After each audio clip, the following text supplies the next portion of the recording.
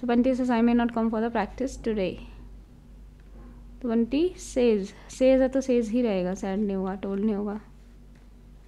So that he might and may का may ही रहेगा। तो Bunty said that he may not come for the practice today because says है तो sentence वही चेंज रहेगा।